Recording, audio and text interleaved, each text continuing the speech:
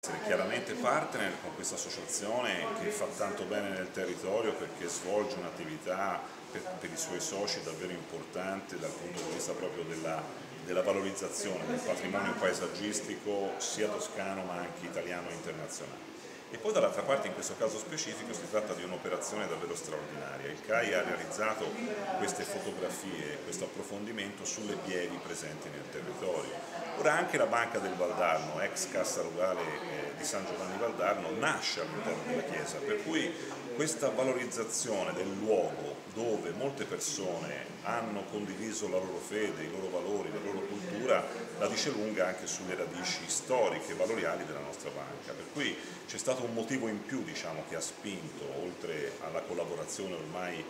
pluriennale con questa associazione, a, a far sì che la banca proprio collaborasse e desse il sostegno anche a questa iniziativa. Tra l'altro secondo me ecco, il CAI è benemerito perché hanno realizzato questa cosa molto interessante, cioè questo connubio tra immagini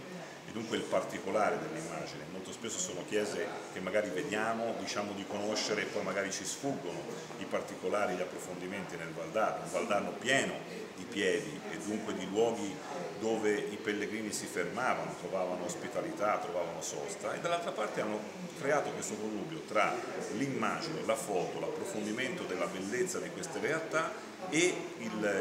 l'elemento culturale storico, perché ci saranno anche delle conferenze collegate a questo. Per cui insomma la banca non poteva essere presente anche per i motivi